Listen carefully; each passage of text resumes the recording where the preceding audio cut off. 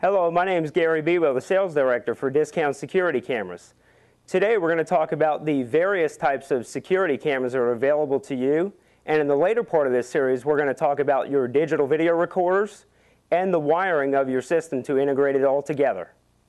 All right, what we're going to start with right now is C-mount cameras, as you can see here to my left. The C-mount camera was the only style of camera available back in the day.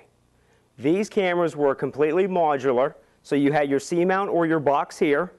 Then you had your lens. You could get these in fixed or variable focal, meaning you could set the zoom and the focus.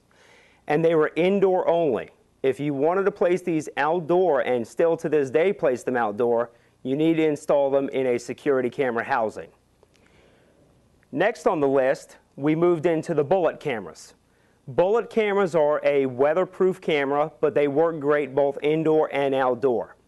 These cameras can be mounted to a ceiling or with the adjustment of the bracket can even be mounted to the wall. These cameras have really advanced over the years and they now come with variable focal lenses as well, as well as infrared night vision for you to see in dark areas or at nighttime. As we move down the list here, we get into our dome camera series. Your dome cameras come in multiple, multiple models, a lot of variations. You could get them in infrared night vision, you get them in fixed lens, you could get them in variable focal lens. And here's just a few that, that we pulled out to show you guys today, just so you have an understanding of the size and the differences between them. Here we have one of our most popular, this is called the ball and turret style dome, or better known as the eyeball or eye and socket dome. These domes are a three-axis dome, meaning you can mount it to a wall or a ceiling, as opposed to a two-axis dome like this one that's strictly ceiling mount. It's basically a limitation of the bracket inside the dome. These armor domes here can be mounted indoor or outdoor, like I said, to a wall or ceiling, so it makes for a real easy installation no matter where you go. Right here, you get into your armor domes. These are pretty heavy. They weigh three to four pounds.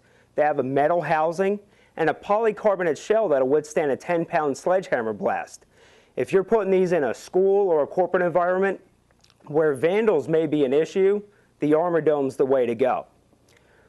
Now what we're going to do is bring you into the larger bullet cameras with a little more infrared or night vision range. These cameras actually have a tuned IR that works kind of like a flashlight. Your IR can be available anything from a flood to really a spotlight, so it's important to get the right lens when you're looking at a camera. This camera here, the factory does all the work for you. You have your infrared LEDs here, and then your lens right here in the center. What happens is, during the day, this camera is going to stay color, but at night, or when the lights turn off, these infrared LEDs are going to turn on, and the camera sees it as natural light. Because the camera has a photo sensor, the LEDs do not run all the time, so they're only running as needed.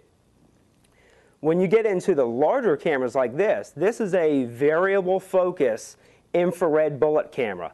As you can see here, we're demonstrating the camera mounted to a ceiling, but this bracket can also adjust backwards to mount to a wall.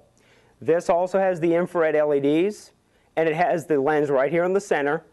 Now these LEDs have a mixture of a flood as well as a spot. That way if you zoom the camera for a wide angle, you have infrared to cover the wide angle. If you zoom it in and focus it for distance, your infrared light is projecting out there as well for you to get the detail that's needed. Now here we get into our largest infrared bullet camera. This camera here has a 5 to 50 millimeter lens. This camera will do anything from a wide view to get a wide shot of a parking lot, or you could actually zoom in up to 200 feet away. Uh, if you're looking for facial detail, maybe 125, 150 feet tops.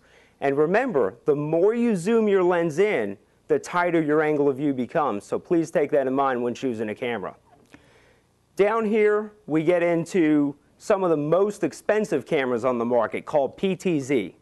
PTZ stands for pan tilt zoom. These cameras actually have a motor control built into the housing here.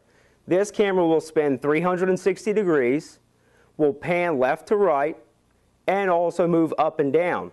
The module inside will also allow you to zoom in and zoom out. Each PTZ is different, so make sure you take a look at your lens module to see how far you could actually zoom out.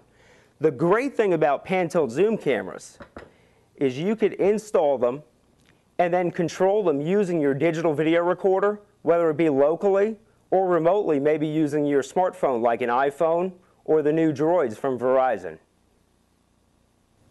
Okay, now that we've covered all the variable types of security cameras, you're ready for part two and part three of our series, which will help you pick out your digital video recorder and also select the right wiring for each run.